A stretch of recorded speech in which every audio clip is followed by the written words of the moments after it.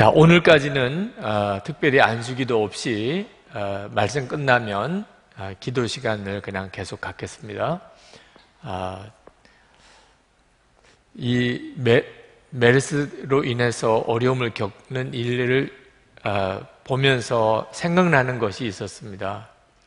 어, 중국이 사스로 인해서 굉장한 어려움을 겪었을 때입니다. 그때 어, 우리 한국의 중국 대사로 가 계신 분이 아, 그 김하중 장로님이신데 아, 그분의 책 속에 그때 일화를 거기에 쓰셨어요.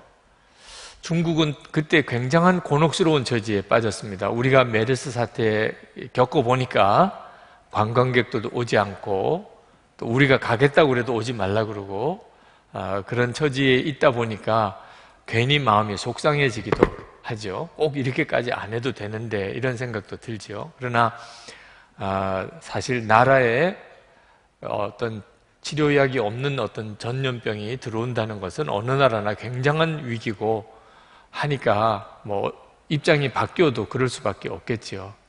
중국이 아, 사스로 인해서 굉장한 어려움을 겪을 때 그때 김마중 장로님께서 추진하셨던 일이 그 당시에 우리나라 대통령이셨던 노무현 대통령의 중국 국빈 방문이었습니다.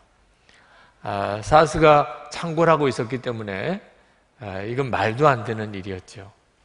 그런데 기도하는 중에 하나님께서 그 일을 진행하라고 아, 하셨다고 했습니다. 그래서 우리나라에서 청와대에서 외교부에서 도무지 뭐 어, 말도 안 된다고 할 때 그때 그것을 강력하게 추진했던 분이 그 김하중 대사였습니다. 중국의 입장에서는 아, 이건 대단한 일이었어요. 왜냐하면 어느 누구도 중국으로 안 오려고 할 때 그때 한 나라의 국가 정상이 아, 국민 방문을 하는 일을 추진하는 일은 과연 올 수 있겠느냐 한국의 대통령이 아, 그때 하나님의 인도하심과 응답을 받고 확신을 가졌습니다. 아, 이거는 반드시 이루어져야 되고 이 일을 계기로 해서 중국이 우리 한국과 굉장히 밀접한 관계를 맺게 되는 아, 놀라운 어떤 전환점을 갖게 될 것이라고 하는 점에 대한 확신을 가졌죠. 그러나 이 사스가 진정될 기미가 보이질 않는 겁니다. 아, 그 국빈 방문에 대한 정상회담에 대한 일정은 논의되고 있는데 그러나 결국은 결과적으로 네, 사스가 종식이 되고 바로 그 다음 날 노무현 대통령의 중국 국빈 방문이 이루어집니다. 아, 중국으로는 아, 대단한 의미를 갖는 아, 일이었고 아, 그로 인해서 어, 중국과 한국 또 북한과 이렇게 미묘한 관계에 있는 이때 아, 중국의 입장이 굉장히 많이 한국 쪽으로 돌아서게 되는 아, 그런 외교적인 어떤 결실도 얻었다는 뭐 그런 기록을 우리가 보았습니다. 뭐 지금 현재 우리 상황, 상황과 똑같을 수는 없지만 아, 하나님께서 우리에게 이런 어떤 위기 상황에 우리는 어떻게 믿음으로 대처해야 하는가 하는 것에 대해서 훈련하고 계시다는 느낌이 듭니다. 저에게서도 큰 기도 제목이고 또 여러분들 개인적으로도 이 일은 그저 단순히 우리나라가 겪고 있는 어려움이 아니고 아, 하여튼 우리가 겪는 모든 일은 다 믿음의 훈련인 것입니다. 그러면 여러분들도 기도하면서 하나님이 뭘 원하시나? 이런 때에 나는 어떻게 하기를 원하시나? 이 점을 물으셔야 하는 겁니다. 그러나 메르스로 인해서 우리나라가 굉장한 어려움을 겪었었다고 지나갈 일이 아닌 거예요. 이 일을 통해서 여러분들은 하나님의 뜻을 듣고 또 그 하나님의 뜻에 믿음으로 반응하고 그리고 그 다음에 결과를 보는 일이 있어야 우리는 이 일을 통하여 앞으로 더 큰 일이 벌어질 때도 당황하지 않고 하나님의 인도를 받는 사람이 되는 겁니다. 여러분 다 교회를 다니지만 이렇게 믿음으로 어떤 문제를 대처하고 하나님의 인도함을 받고 믿음으로 어떤 일을 아, 그러니까 나아가는 일은 다 다릅니다. 교회를 다닌다는 것만 가지고 믿음이라고 이야기하기가 어렵습니다. 우리는 아, 이제 점점 더 진짜 믿음으로 하나님의 인도를 받는 훈련을 해야 하고 어, 이 일은 이제 주님이 오실 때 엄청난 일을 우리에게 보여줄 것입니다. 오늘 어, 베드로 사도가 오늘 말씀에서 1장 9절에서 믿음의 결국 곧 영혼의 구원을 받음이라 는 말씀을 하셨습니다. 그러니까 믿음은 주님이 다시 오실 때 우리를 구원해 주는 놀라운 능력입니다. 그러니까 여러분이 믿음으로 사는 훈련을 받아도 되고 안 해도 되는 게 아닙니다. 이건 매우 중요한 일입니다. 여러분이 오늘 이렇게 교회를 나오는 사람, 아, 또 주일이면 하나님 앞에 나와서 예배하는 사람이 된 것처럼 여러분이 실제적인 삶에서 믿음으로 사는 사람이 되어야 됩니다. 아, 베드로전서 1장 5절에 보면은 너희는 말세에 나타내기로 예비하신 구원을 얻기 위하여 믿음으로 말미암아 하나님의 능력으로 보호하심을 받았느니라 라는 말씀을 했습니다. 여러분 우리가 믿음이 없으면 이 말세 때 하나님이 보호하시고 구원하기로 작정한 하나님의 자녀들을 지키실 수가 없다는 겁니다. 이 말씀을 잘 기억하셔야 됩니다. 우리가 믿음이 없으면 하나님이 우리를 말세 때 그 파멸과 멸망에서 우리를 보호하시고 지키실 수가 없으시다는 거예요. 우리가 믿음이 있어야 하나님이 우리를 지키고 보호하실 수 있는 겁니다. 하나님이 우리를 보호하시지 않는 게 아니에요. 보호하실 수 없으시는 거예요. 믿음이 없으면. 예를 들면, 북한에 있는 어떤 사람이 어떻게 전도를 받았습니다. 이건 정말 그 사람에게는 가슴 떨리는 일입니다. 그래도 정말 성령의 감동으로 그가 그 복음을 받아들였어요. 그런데 당장 이제 위기가 옵니다. 성경도 가지고 있고 예수도 믿고 그랬는데 아, 그만 아, 보이부에 적발이 돼서 가서 취조를 당합니다. 자, 이와 같을 때 내가 끝까지 예수를 믿는다고 고백을 하면 그는 끔찍한 일을 당하게 됩니다.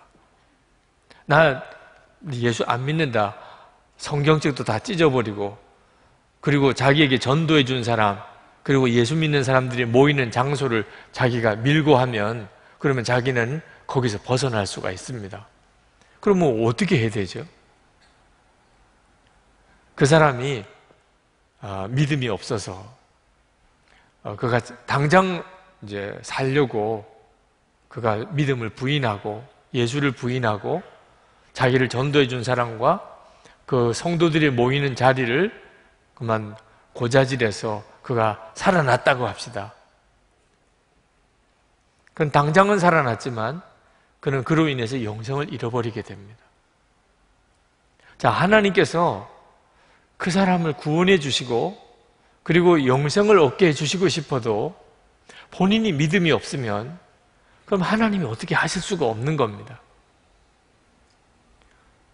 이 일이 말세에 이루어진다 그랬습니다. 그러므로 여러분들은 여러분의 믿음을 스스로 잘 점검하고 사셔야 하는데 어떤 유혹이 오든지 어떤 핍박이 오든지 여러분들이 예수님을 정말 입으로 시인하고 그리고 믿음을 지킬 수 있는지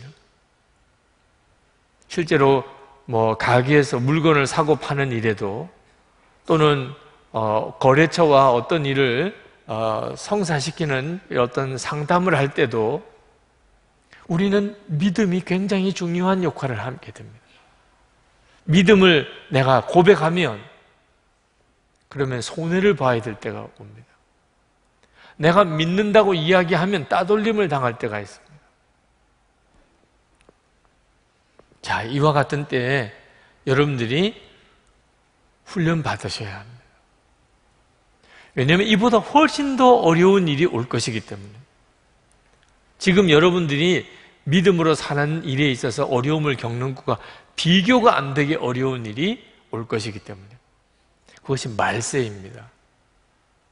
마지막 때는 진짜 구원받는 자와 그렇지 못한 자가 확연히 갈라질 때가 옵니다. 어떻게 갈라지죠? 예수를 믿으면 축복받는다. 그러면 갈라지기가 어렵습니다.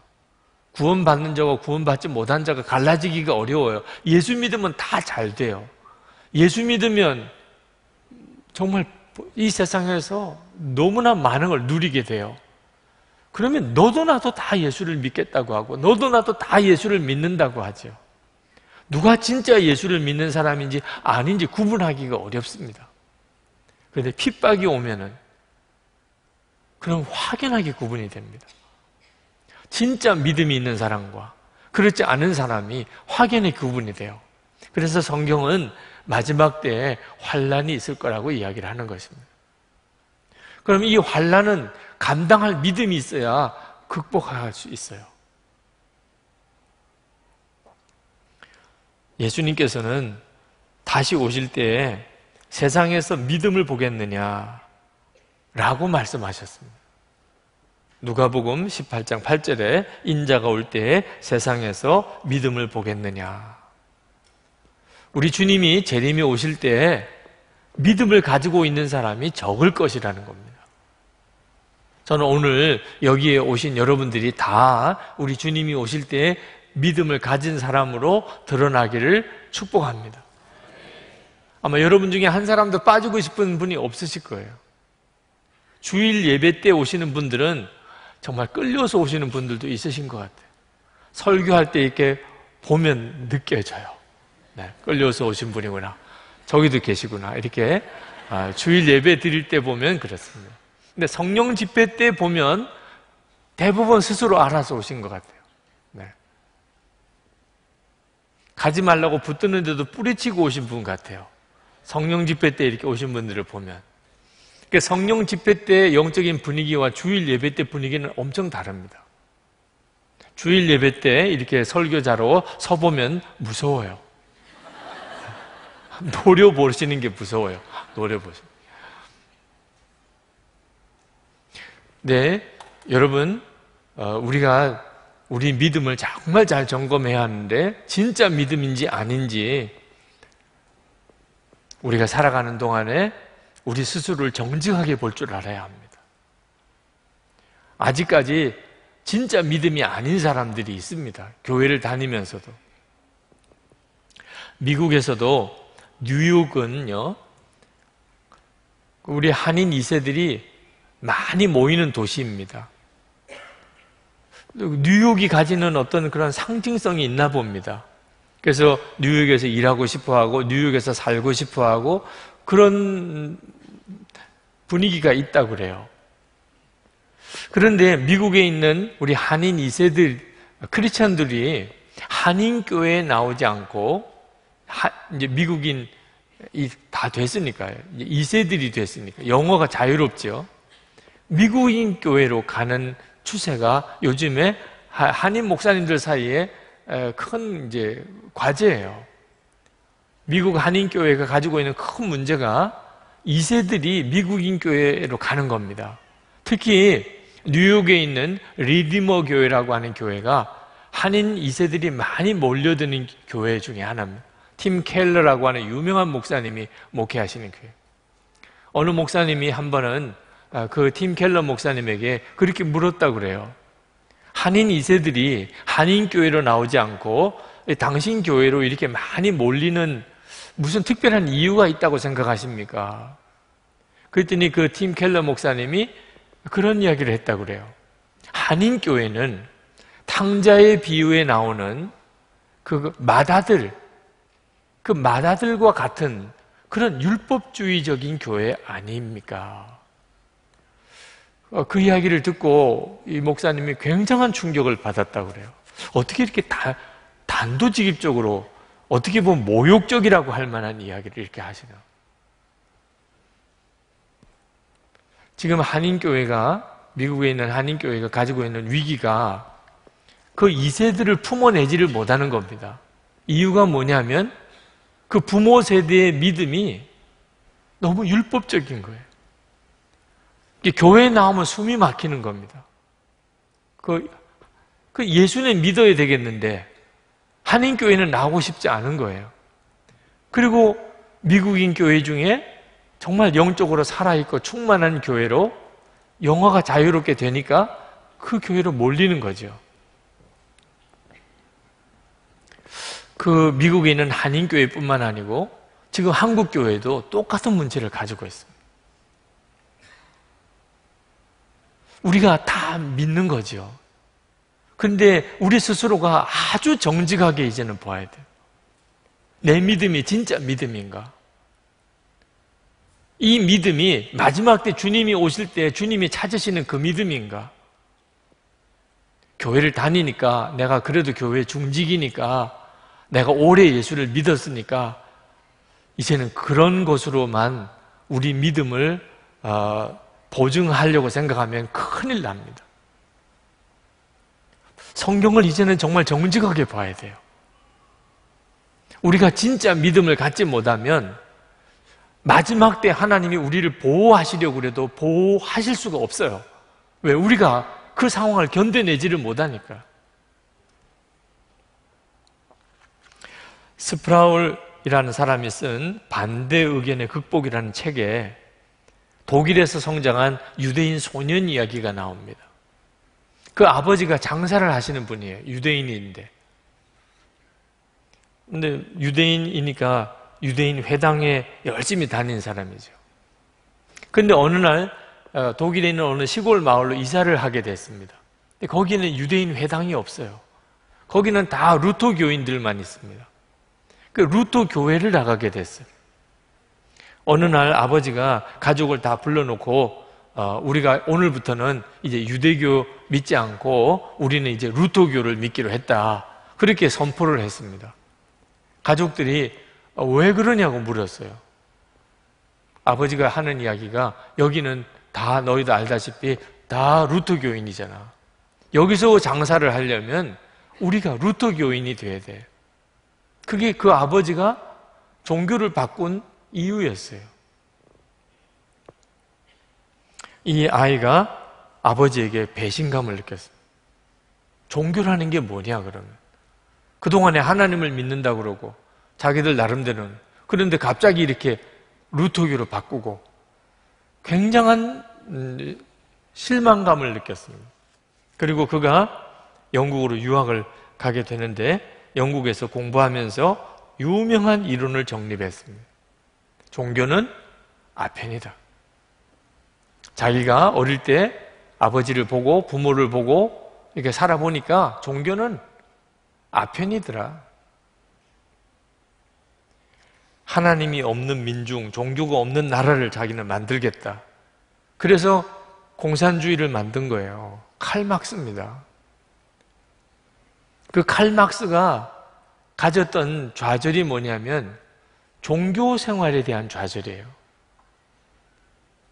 여러분, 예수를 믿으면서도요, 실제로는 종교 생활 하시는 분들이 많습니다. 이 종교 생활이 율법주의예요. 겉으로는 정말 예수를 잘 믿는 거예요. 그냥 일반적인 종교라는 기준으로 보면. 근데 기독교는 종교가 아닙니다. 기독교는 생명 그 자체예요. 우리 아이들을 정말 우리가 정말 조심해야 합니다. 우리 아이들은 어른들을 충분히 이해할 수가 없어요. 그냥 그 아이들이 느끼는 대로입니다. 우리 아이들의 눈에 예수를 열심히 잘 믿는 우리가 부모와 어른들이 종교 생활에 빠져 있다. 그 말은 그 아이들에게 너희들은 교회를 떠나라고 말하는 것과 같아요. 자꾸 교회를 나오라, 예수를 믿으라고 이야기는 하지만 입으로는 실제로 본인이 믿음으로 보여주는 것은 종교를 보여주는 거예요. 감동을 받고 아이들이 은혜를 받고 하나님이 기적을 경험하고 하나님의 살아계심을 체험하고 기쁨의 영을 느끼고 사랑의 영을 느끼고 원래 예수를 믿는 건 이거였거든요. 그런데 그렇게 열심히 교회를 다니고 헌금도 열심히 하고 그렇게 뭘 지키는 것도 많고 해야 될 거 하지 말아야 될 것도 많고 그런데 느낌은 옥죄는 것 같고 무거운 짐이고 그렇게 교회를 열심히 다니는데도 부부싸움은 왜 그렇게들 열심히 또 하며 항상 부부싸움의 중심 주제는 어, 민족의 보고마가 아니고 돈 문제예요, 돈 문제.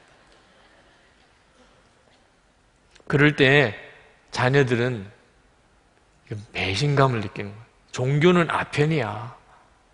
우리 집은 종교 때문에 다 망했어. 이렇게 된단 말입니다. 굉장히 무서운 거예요. 그러니까 여러분, 나는 그저 교회를 다니고 이만큼의 직분이 있으니까 믿음은 있다. 이렇게 생각하면 안 된다는 겁니다. 정말 진짜 믿음을 가져야 돼요. 여러분은 여러분 자신에게 한번 물어야 됩니다. 나는 어떤 유혹이나 어떤 핍박이 와도 나는 이길 자신이 있는가? 나는 진짜 사랑으로 소문 났는가? 나는 사람들이 나를 보면 예수님을 보는 것 같을까? 그게 믿음인 것이거든요. 우리는 지옥에 갈 자가 천국에 갈 자가 되었고요. 마귀의 자식이 하나님의 자녀가 됐고요. 모든 죄가 다 사함을 받았고요. 하나님이 우리를 의롭다고 인정해 주셨고 그리고 우리 안에 주님이 와 계시고요. 예수님은 나의 왕이시고요. 우리는 이 세상이 전부가 아니고 하나님의 나라가 있음을 아는 눈이 뜨였고요. 이제 주님이 재림에 오심으로 하나님의 나라가 이 땅에도 완전히 이루어집니다. 우리는 그걸 믿어요. 자, 이 믿음이 내게 얼굴의 표정으로 나타나고 내 말로 나타나고 내 삶으로 나타나는 겁니다. 그게 믿음으로 사는 것입니다. 근데 믿기는 다 똑같은 걸 믿는데 표정은 완전히 다른 표정이 나타나요. 말은 완전히 다른 말을 하고 있어요. 그러면 우리는 정말 심각한 상태에 빠져 있는 것입니다. 6절 말씀에 보면 그러므로 너희가 이제 여러 가지 시험을 시험으로 말미암아 잠깐 근심하게 되지 않을 수 없었으나 오히려 크게 기뻐하는도다. 여러분, 믿음이 얼마나 놀라운 것이냐면 여러 가지 시험을 만났어. 진짜 우리가 지금 여러 가지 시험을 만났잖아요. 그런 여러 가지 시험을 만나서 근심하게 됩니다. 그런데 잠깐 근심하게 되나? 사람이니까 누구나 여러 가지 시험을 만나면 근심이 되지만 그게 잠깐이에요, 잠깐. 오히려 크게 기뻐하는도다. 여러분, 믿음은 그냥 자격증처럼 가지고 있는 게 아닙니다. 세례 증서, 집사 증서, 그런 것처럼 이렇게 무슨 증서처럼 가지고 있는 게 아닙니다. 믿음은 엄청난 능력이에요. 여러 가지 시험을 만났는데 크게 기뻐하는도다. 이렇게 만들어 주는 게 믿음이에요. 여러분이 지금 그러신가요? 그 점을 스스로 점검해야 한다는 겁니다. 저는 이번 주간에 메르스로 또 가뭄으로 굉장한 마음의 눌림이 있었습니다. 근데 어제 영성일기 쓰다가 갑자기 제 마음속에 내가 지금 마음에 있는 이 눌림이 메르스 때문도 아니고 가뭄 때문도 아니라는 걸 알았어요. 예수 믿는 사람은 그렇지 않습니다. 주님께서 저에게 너는 기쁨이 어디 있냐 물으셨어요. 지금 기쁠 일이 없잖아요, 지금. 메르스 사태로, 가뭄으로 무슨 기쁠 일이 있어요. 그러나 우리는 예수님 안에서 이미 사람이 다른 사람이 되었습니다. 우리의 기쁨의 이유는 외부에서 오는 게 아니에요. 우리의 기쁨의 이유는 예수님 그분으로부터 오는 겁니다. 나의 기쁨이 너희 안에 있어 너희 기쁨이 충만하게 되기를 원한다 그러셨어요. 주님의 기쁨이 우리 안에 있다는. 그러니까 상황이 어떠하든지 간에 우리는 속에서부터 기쁨이 있는 거예요. 제가 왜 내가 이렇게 마음이 눌리는가? 뉴스를 보고 사람을 만나고 이렇게 제가 늘 바깥에 있는 것들만 자꾸 바라보고 있었기 때문에 제가 마음에 눌리고 있다는 걸 알았습니다. 우리 주님만을 바라보는 것이 나에게 있어서 너무 적은 것이었어요. 그래서 오늘 내가 계속해서 주님을 불러, 야 되겠다. 내가 계속 찬송해야 되겠다. 주님은 우리 속에서부터 힘을 주시는 것 때문에 기쁨을 주시는 거예요. 여러분, 메르스를 위해서 또 가뭄을 위해서 또는 선교사님들을 위해서 기도할 수 있는 힘이 어디서 오는 것 같습니까? 걱정과 근심에서는 기도가 안 나옵니다. 진짜 능력 있는 기도는 없어요. 주님으로부터 인하여 오는 기쁨을 가지고 있는 사람. 그 사람이 기도할 수 있는 거예요. 여러분 실제로 기도를 해 보셨으니까 아시겠지만 다른 사람을 위해서 기도하는 것은 엄청나게 어려운 일입니다. 마음은 기도해야 되겠다는 생각이 있어도 실제로 기도가 안 되는 거예요. 능력이에요, 기도. 기도를 정말 충만하게 여러 많은 사람을 위해서 기도할 수 있는 힘은 주님으로부터 오는 것입니다. 이게 믿음인 것입니다.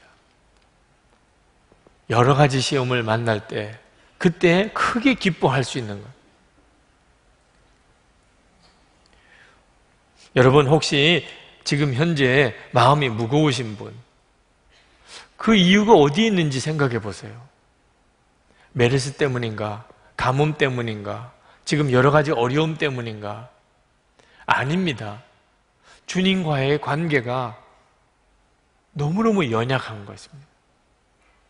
그것 때문에 마음이 무거운 거예요. 그러므로 우리가 주님을 바라봐야 돼요. 무엇보다도 주님을 바라봐. 문제가 많을 때, 어려움이 올 때 더욱 그래 해야 됩니다. 우리 나동원 집사님이 간정을 하셨는데, 어, 금요 성령 집회 때 설교 제목에 응답을 받으셨다고 그래서 조심스러운 생각이 또 들기도 합니다. 네. 근데 우리 집사님이 간증하실 때 직장에 남아 있어야 되냐, 아니면 직장을 나와야 되냐. 그 하나님께서 어, 나오라고 하시는 응답을 주신 것이라고 믿고 어, 지금 그렇게 믿음의 결단을 하셨다고 하셨는데 집사님이 그 믿음으로 살아보려고 하는 그 일을 하나님이 축복하셔서 정말 집사님의 삶을 더 놀라운 간증의 삶을 되게 해주시기를 축복합니다. 근데 오늘 여러분들에게도 비슷한 문제가 있을 수 있을 거예요. 근데 여러분 이 일에 대해서 하나님의 뜻을 분별하는 중요한 기준을 하나 명확하게 해야 할 필요가 있다고 느껴집니다. 직장에 남아 있어야 되냐? 아니면 직장을 나와야 되냐? 하는 것보다 더 중요한 문제가 있어요. 그것은 주 예수님을 바라보는 것입니다. 엄밀히 말하면 직장 안에 있거나 직장을 나와야 되거나 하는 것에 대한 응답이 핵심이 아닙니다.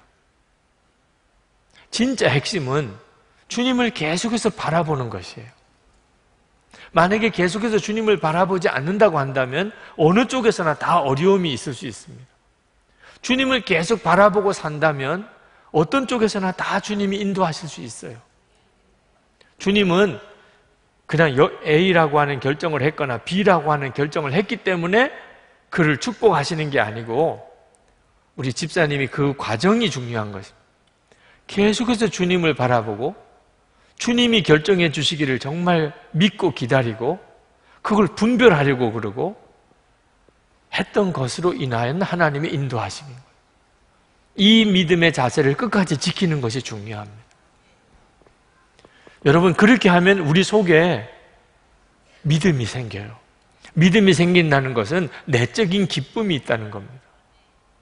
환란이 있고 시험이 있고 문제는 어려운데 내 속에는 기쁨이 있다는 거예요.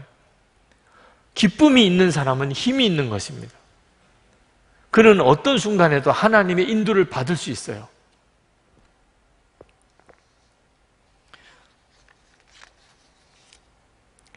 어떤 분이 역경 중에 하나님의 자녀들이 찬양하면 사탄은 화가 날 것입니다. 더 어려움이 닥칠 때 여전히 우리가 찬양하면 사탄은 더욱 화가 날 것입니다. 우리가 이 세상에 가장 비참하게 될 지경이 되어도 찬양하면 마귀가 졸도해 버릴 것입니다. 아마 여러분들이 왜 내가 항상 찬양해야 되는지 이해할 수 있는 어떤 표현일 수 있다고 생각합니다. 마귀는 여러분들이 상황과 환경에 흔들리기를 원합니다. 그래서 좋은 일이 생기면 사람이 굉장히 기쁘고 어려운 일이 생기면 낙심하고 예수를 믿고 믿음이 있다고 하면서도 이런 분들은 믿음이 약한 거예요. 믿음으로 반응하는 게 아니고 내가 보고 듣는 것에 따라 반응하는 거잖아요.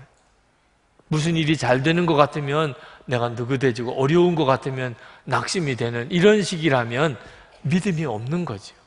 하나님이 그를 인도하실 수가 없습니다. 여러분들 안에 환경과 여건과 상관이 없는 찬양이 있고 기쁨이 있는가?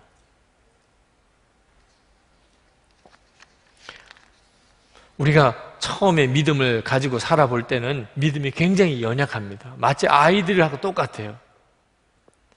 그러나 어떤 연단을 겪으면서, 시련을 겪으면서 믿음이 커집니다. 그래서 어떤 상황에 부딪혔을 때 처음부터 세상을 이기는 믿음을 가진 사람은 없어요. 그가 얼마만큼 어려움을 겪어봤느냐에 따라서 믿음이 다릅니다. 물론 고생을 많이 했다고 믿음이 다 좋은 건 아닙니다. 일들을 겪을 때마다 주님을 계속 주목해 보는 생활을 끊임없이 한 사람. 그런 사람은 그 다음에 어떤 문제를 만나면 대처하는 반응이 달라요. 7절 말씀을 보실까요? 너희 믿음의 확실함은 불로 연단하여도 없어질 금보다 더 귀하여 예수 그리스도께서 나타나실 때에 칭찬과 영광과 존귀를 얻게 할 것이니라. 이 믿음의 확실함은 불로 연단하여 얻은 금보다도 더 귀하다고 그랬어요. 여러분, 금이 순수하게 정금 형태로는 없습니다. 다 불순물로 섞여 있습니다. 순수한 금을 얻으려면 연단해야 되죠. 불로 연단해서 정년 과정을 거쳐서 이제 순수한 금을 어, 얻어냅니다. 근데 믿음이 꼭 그와 같다는 겁니다. 우리 속에는 믿음이 있습니다. 지금 여러분 안에 믿음 없는 사람은 한 사람도 없어요. 그런데 말세 때 믿음을 보겠느냐고 하는 이 믿음은 다른 문제예요.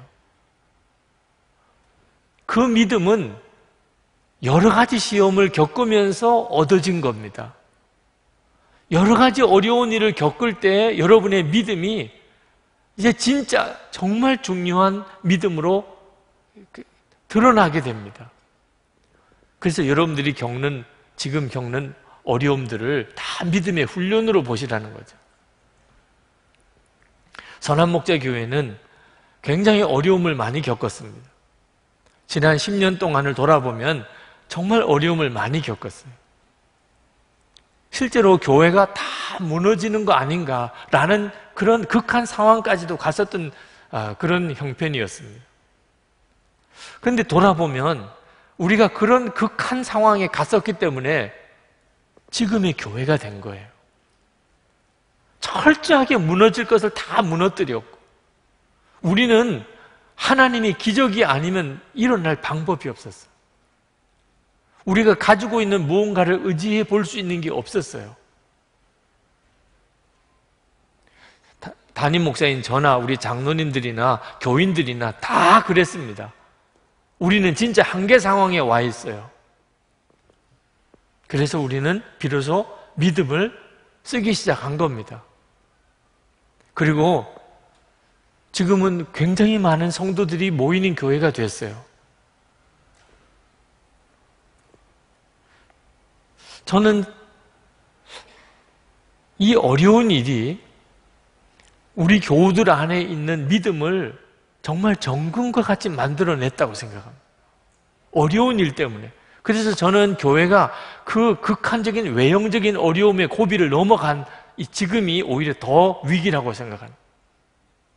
이제는 우리는 그때처럼 그렇게 믿음을 써야 될 어떤 절박함에서 우리는 조금 벗어나 있어요. 이번에 7월 초에 이제 우리 맥주 감사 주일을 첫 주일에 합니다. 우리 분리 개척을 하기 위해서. 추수감사절 헌금을 한 것은 전부 재난 당하고 어려움 당한 사람에게 흘려 보내려고 합니다. 어떤 분들은 이해가 잘 안 되실 거예요. 아니 선한 목자 교회도 여전히 건축비 부채가 있다 그러고 교회도 쓸 일이 있다고 하면서 지금 여러분들 교회 오실 때 보면 우리 교회 선한 목자상이 지금 선한 목자상이 아니고 희미한 목자상이 돼 있는 걸 보실 거예요. 네. 지금 저거 바꿔야 돼요, 지금. 볼 때마다 지금 저거 바꿔야 되는데 저건 이미 선한 목자상이 아니야. 전광판으로 바꿔볼까? 뭐 이런 생각도 해보았지만 돈이 너무 많이 들어요. 다시 그냥 그림으로 해서 지금 저, 저 상태로 그냥 하는데도 상당한 액수의 돈이 들어요. 어떤 때는 우리 장로들과 기획위원회 하다가 저 스스로가 어이없을 때가 있어요. 지금 저거 하나 바꾸는 것도 돈이 들어서 우리가 못하면서 여기저기 우리가 재정을 흘려보내요. 지금 우리가 뭐 하고 있는 일인가? 맥주 감사주일 헌금하면 다 지금 개척교회 위해서 그 헌금으로 모자라니까 다른 교회 재정까지 덧붙여서 교회 하나 개척하려고 또 보내요.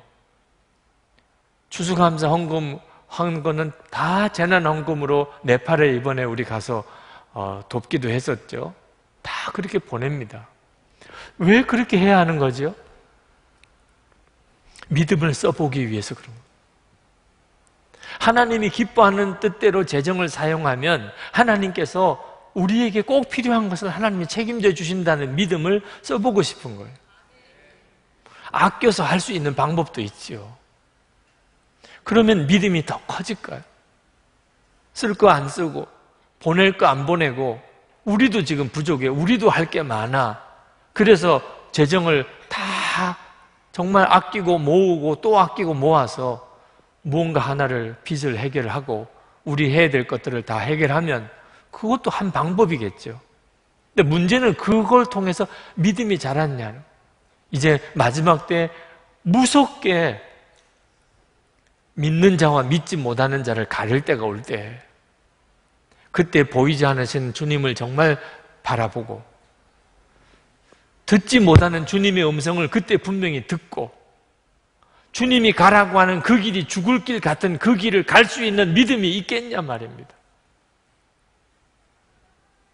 그래서 죄 짓는 일이 아니라고 하고 하나님이 기뻐하시는 일이라고 한다면 그러면 믿음을 써봅시다. 그래서 저는 우리 교회에 이 희미한 어, 우리 교회 저 입간판 여러 목사님들이 저에게 이야기를 해요. 그것 좀 어떻게 바꾸라. 선한 목자 교회 어, 그 재정이 그렇게 없느냐. 제가 설명을 드리질 않았어요. 그것도 또 은근히 또 자랑하는 것처럼 될까봐.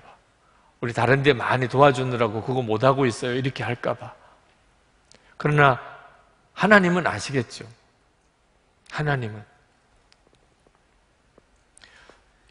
제가 해외에 나가면 선한 목자 교회 그 영상 시스템 좀 바꾸라고 하는 이야기를 들어요. 다른 교회와 너무 비교가 된다는 겁니다. 선한 목자 교회 설교 방송을 들으면 너무 선명도가 떨어진다는 거예요. 그래서 어떤 분들은 저를 만나면 만나보니까 목사님 인상이 더 낫다는 분도 있어요. 네. 아마 설교 방송에 나가는 영상으로는 제가 좀 영 아닌 것처럼 보이나 봐요. 네. 제가 실제로 안식년 기간 동안에 나가서 저희 교회 생방송 주일 설교를 이렇게 들어도 보고 해보니까 좀 답답하기도 해요. 아, 이거 영상 시스템을 좀 바꿔주면 좋겠다. 그래서 지금은 다 아, HD로 다 바뀌잖아요. 방송국은 이미 다 바뀌었고 지금 우리 교회 설교 방송을 이제 기독교 방송국에다가 보내려면 못 보내요. 우리 교회에서 녹화한 이 녹화된 것으로는 방송이 안 돼요. 그래서 교회에서 의논했어요. 이거 방송 시스템을 좀 바꾸자. 카메라도 바꾸고 다 바꾸자. 돈이 얼마나 드는데요? 대략 한, 한 20억 가까이 든다고 그래요.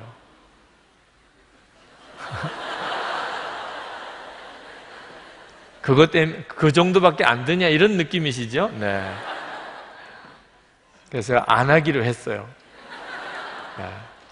그러면 뭐 좀 후지면 후진대로 합시다. 네. 주일 예배 드리는데 큰 지장이 없다면 그냥 우리 거기에 돈 쓰지 맙시다. 믿음을 써보자. 하나님이 기뻐하는 쪽에 조금이라도 어떤 쪽에 더 하나님이 기뻐하는 쪽인가. 우리가 그렇게 방송 시스템을 바꾸면 다른 예산을 줄여야 되니까 줄일 예산이 없어요. 줄일 때는 선교비밖에 줄일 데가 없어요. 우리 교회 기본적으로 꼭 유지되어야 될 최소한의 교회 유지 관리비 나머지는 다 흘려 보내는 예산입니다. 그래서 방송 시스템 안 바꾸기로 했어요. 아마 한동안 굉장히 불편하실지 모르겠어요. 이제는 우리가 설교 방송 어디 내보내려고 그래도 우리 교회에서 녹화한 것은 받아주지도 않아요. 원하시는 분들은 교회 홈페이지에 들어오셔서 보실 수 있겠지. 아니면 뭐 음성으로라도 들으시면 되지. 그 다음엔 하나님이 어떻게 하실까? 우리는 항상 믿음으로 살고 믿음으로 살아봐야 됩니다. 6.25 피난 왔던 우리 부모님들 제가 만나 뵐 때마다 그분들은 다 무너졌었어요. 고향을 떠난 사람들이니까. 그런데 그것 때문에 이 남한에 와서 엄청나게들 일어났습니다. 하나님께서 우리의 삶을 한번 근본적으로 흔드실 때가 옵니다. 그래서는 우리를 힘들게 하려고 하심이 아닙니다. 믿음으로 살아보려고. 더 이상 아는 사람도 없어요. 더 이상 손 벌릴 때도 없어요. 내, 자, 나 자신에 대해서 의지할 것도 없어요. 완전히 다, 난 다 무너졌어요. 믿는 분은 오직 주님 한 분밖에 없어요. 자, 이런 상황이 왔을 때 나는 정말 어떻게 살 건가 하는 겁니다. 오늘 이 시간에도 여러분 오늘 말씀을 잘 보십시오. 8절에 보면 예수를 너희가 보지 못하였으나 사랑하는도다. 이제도 보지 못하나 믿고 말할 수 없는 영광스러운 즐거움으로 기뻐하니 여러분 우리가 예수님은 보지 못해요. 그렇지만 사랑해요. 이건 너무나 신비한 일이잖아요. 우리가 주님을 보지 못하지만 믿고 말할 수 없는 영광스러운 즐거움으로 기뻐하네. 이것도 정말 이해가 안 되는 일이잖아요. 그걸 보셔야 돼요. 눈으로 보고 귀로 듣는 것에만 의존해서 사는 사람이 아닙니다, 우리는. 우리는 보지 못하지만 주님은 계시고, 귀로 듣지 못하지만 주님은 내게 말씀하세요. 그래서 우리가 주님을 사랑하고 그리고 앞으로 주실 하나님의 영광을 바라보며 기뻐하는 거예요. 이 훈련을 우리의 가정에서, 직장에서, 교회 안에서 계속 살아봐야 되는 거예요. 그러면 그 믿음은 엄청나게 커집니다. 그리고 마지막 때, 말세에 이 믿음이 빛을 발할 때가 옵니다. 내 인생을 결정하는 겁니다. 그리고 하나님이 그때 나를 보호하실 수 있어요. 내가 믿으니. 이 시간에 우리 같이 기도합시다. 정말 믿음은 마지막 때 나를 구원하는 하나님의 능력입니다. 우리 이 시간 주님을 정말 바라봅시다. 우리와 함께 계세요. 보지 못하지만 우리가 사랑하는 주님입니다. 우리가 보지 못하지만 그러나 말할 수 없는 하나님의 영광을 보면서 기뻐하는 이 역사가 오늘 여러분의 마음의 중심에서 체험되기를 원합니다. 이 시간 우리 주님께 주님께로 나를 더 인도해 주세요. 주님께로 더 가까이 나가게 해 주세요. 찬양하십시다.